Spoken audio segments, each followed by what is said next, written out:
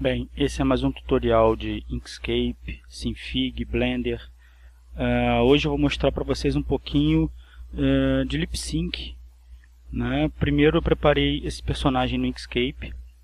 Eu separei as camadas em olhos, nós temos dois olhos, um olho aberto e um olho piscante, né? um olho fechado. Uh, eu tenho uma cabeça base, ok? E tenho as bocas, que são as bocas que eu vou usar para esse lip sync. Lembrando o seguinte, eu fiz uma coisa muito básica aqui, eu não fiz fonemas, tá? Porque na verdade eu quero apresentar a técnica, eu não vou focar nos fonemas corretos, tá? Eu só fiquei preocupado em criar bocas diferentes, uma boca fechada, que é a primeira, e outras bocas para nós simularmos esse lip sync. Porém, como eu falei, a minha preocupação aqui não foi criar os fonemas e sim mostrar a técnica, ok? Por isso as bocas não serem exatamente a dos fonemas que nós conhecemos, tá? Uh, muito bem, fiz isso no Inkscape. Eu poderia exportar para o Synfig diretamente os vetores, como a gente já havia feito no tutorial anterior, ou seja, eu poderia é, exportar essa cena do Inkscape como uma cena do Synfig e animar, inclusive aproveitando essa hierarquia aqui de camadas, mas é, eu vou exportar é, como bitmaps, porque é, vou mostrar num tutorial próximo esse, essa mesma técnica de lip sync no Blender. Então, para nós termos os mesmos arquivos, eu vou exportar como bitmap. Bom, o que eu fiz? Bom, primeiro eu exportei somente os olhos, tá? Olho 1 e olho 2. A gente, eu já tenho salvo aqui, uh, ah, para vocês darem uma olhada. Eu tenho o olho 1, que na verdade é o 00, e o 01. Eu sempre procuro nomear dessa forma, a partir do 00, por conta do Blender. Tá? Uh, quando eu uso aquela técnica de importar sequência de imagens, é muito importante que a primeira imagem seja numerada como 00. Bom, Uh, exportei aqui só os olhos, ok? Depois a cabeça base, eu tenho aqui cabeça base, tá? Eu tenho aqui o arquivo, vocês podem ver, essa aqui é a cabeça base. E depois eu exportei somente as bocas, onde eu tenho boca 0, boca 1, boca 2, boca 3 e boca 4. Ok? Onde eu encontro isso aqui? Se eu vier em bocas, eu tenho aqui todas as bocas. Bom, feito isso, o que, que eu fiz? Eu usei aquele script de criar uma sequência. Vou até apagar isso aqui. Eu, eu é, usei aquele script de criar uma sequência de imagens a partir das imagens que eu tenho em uma pasta. Já passei isso para vocês. E o arquivo final que eu tive foi esse aqui. Eu digo aqui quantos frames por segundo eu quero. Ok? e a quantidade de imagens que eu tenho aqui. Perfeito? Feito isso, vamos para o Synfig.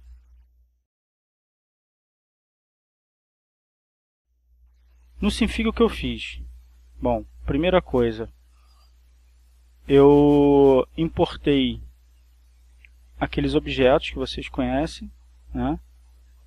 os olhos, olho aberto e o olho fechado. Eu vou fazer isso agora para vocês darem uma olhada. Tá? Eu vou fazer isso daqui a pouco, na verdade.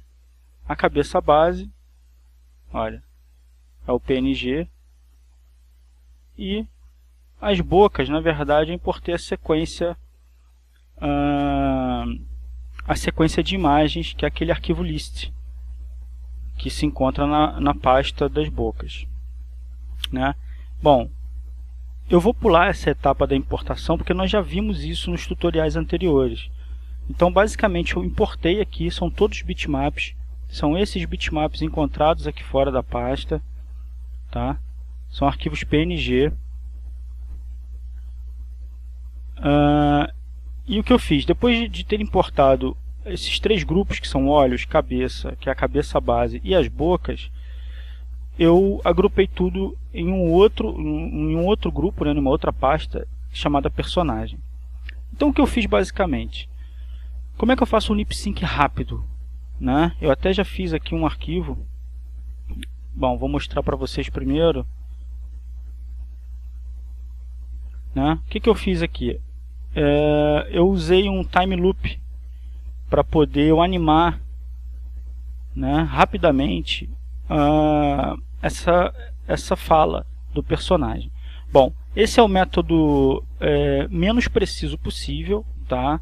Como eu vou explicar, esse método de animação de lip sync que eu usei aqui, ele não se preocupa exatamente com uh, uh, os fonemas. Né? Basicamente o que eu fiz aqui foi uh, dizer para o Sinfig que toda, enquanto tiver fala, ele vai ficar em looping mexendo as bocas, ok? Trocando as bocas. Quando tiver uma pausa no áudio, ele vai pausar nesse intervalo aqui e depois fala mais um pouquinho e depois uma outra pausa, né? É esse é que é o, o, o método assim muito rápido de fazer um lip sync.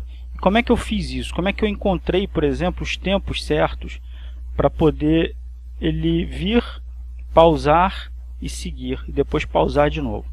Vamos lá para o Audacity. Eu tenho aqui um áudio, tá? Uh, esse áudio é aquele famoso texto Hasta la vista baby. Eu tenho um texto, um áudio que vem daqui a aqui aproximadamente, depois ele segue e depois eu tenho uma pausa. Mas como, como eu encontrar exatamente esse tempo né, desse áudio? Bom, o Audacity ele tem um recurso muito bacana que é de análise e eu posso encontrar o Bitfinder, por exemplo, para encontrar batida de música eu acho isso muito legal porque ao invés de eu ter que ficar procurando no arquivo de áudio a batida da música para poder fazer uma, um, um, sincronismo de troca de cena, por exemplo, numa edição, eu uso o Bitfinder, ele vai me dizer lá, ele vai me apontar os locais onde eu tenho a batida e eu vou anotar, eu posso salvar isso como um texto ou simplesmente anotar e depois na edição fica muito mais fácil eu saber que, por exemplo, a cada 15 frames eu tenho uma batida. Então eu não preciso ficar ajustando. Eu sei que a cada 15 frames vai ter, eu já vou usando as imagens com aquele tempo ali de 15 frames. Mas o que a gente vai usar aqui é o Silence Finder. O Silence Finder. O que ele faz? Vou mostrar para vocês. Ele basicamente procura os locais de silêncio para mim nessa minha faixa. Olha, muito bem, ele já encontrou. Eu tenho aqui um intervalo de silêncio nesse trecho e depois começa um outro silêncio nesse outro pedaço. Né?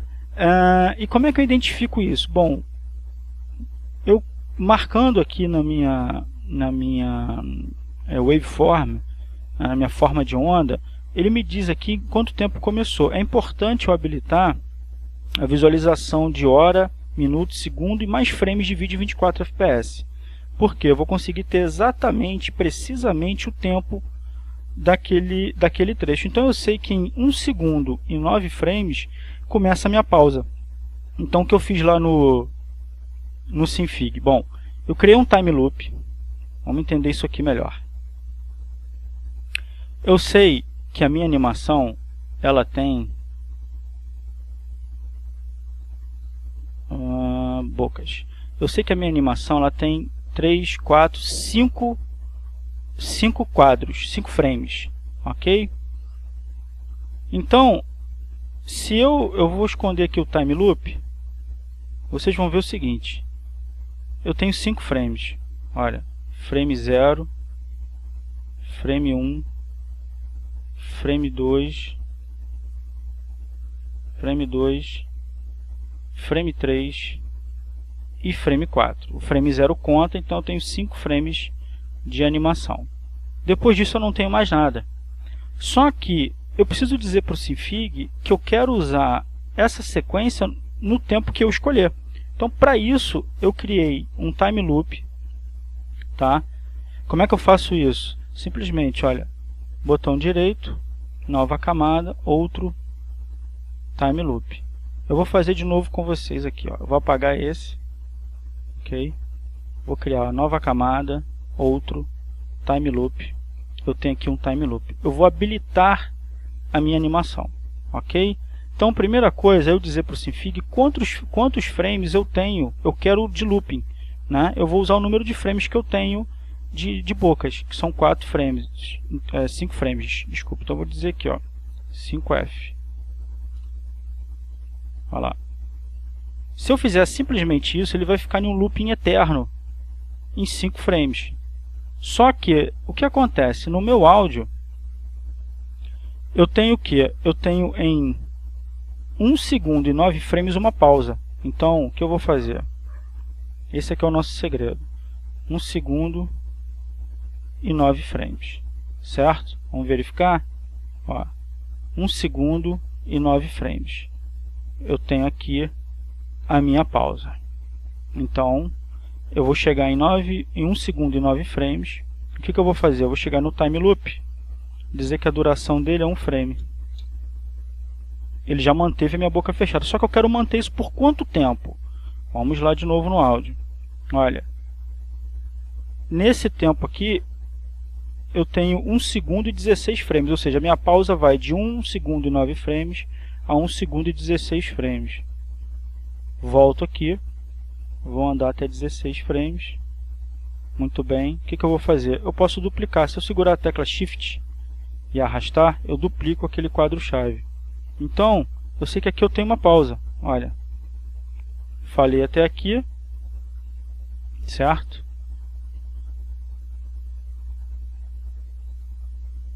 Aqui eu tenho uma pausa e novamente vou voltar a falar no frame seguinte. Então aqui eu já coloco de novo 5 frames. Ok?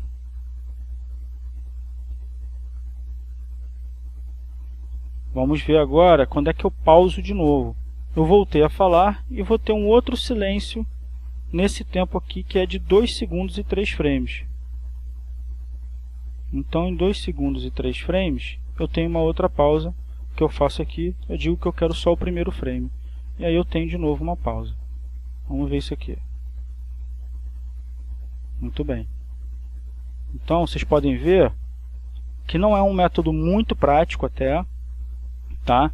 Não é preciso, eu não tenho os fonemas aqui, mas eu tenho o tempo de correto de, de, de boca falando e boca parada, tá? Esse é um método e esse é o método que para fazer uma animação rápida é o que eu utilizo, ok?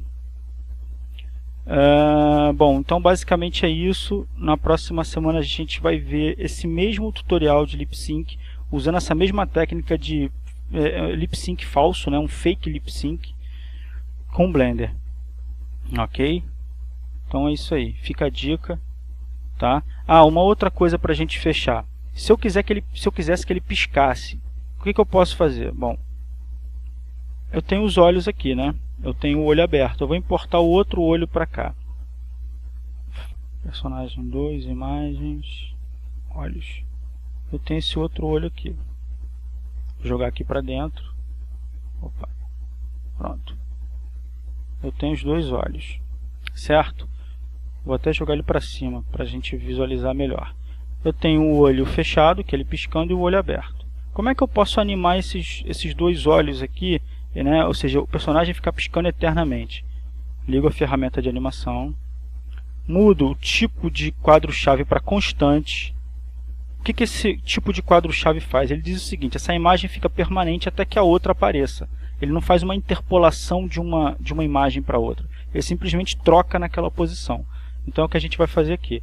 O olho, é, esse olho piscando na posição zero, ele tem quantidade zero, ou seja, ele é transparente. Vamos lá. Vamos dizer que eu quero que ele pisque a cada 23 frames, ok? Aqui, esse olho aberto, ele vai ficar em zero, ok? E esse olho 1 aqui que é ele piscando vai ficar com a quantidade 1, que é ele ativo. E dois frames depois, o que, que eu posso fazer? Eu posso voltar, né?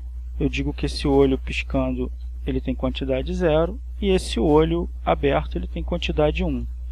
Agora, para eu não ter mais problema com isso, para não precisar fazer esse trabalho de novo, o que, que eu vou fazer? Acima desses, dessas duas camadas, eu vou criar aquela camada de time loop. E vou dizer para ele o que? De quanto em quanto tempo vale o meu intervalo? Bom, ele está em 1 segundo e 1 frame. Então eu venho aqui e digo isso, um segundo e um frame. que, que vai acontecer agora? Só que eu fiz isso com a animação ligada. Eu vou desligar, vou apagar, só clicar com o botão direito em cima da, do quadro-chave. Eu quero que o time loop ele tenha um segundo e um frame. Pronto. Então a cada um segundo e um frame, ele vai piscar agora eternamente. Até o final da animação. Ok? Olha.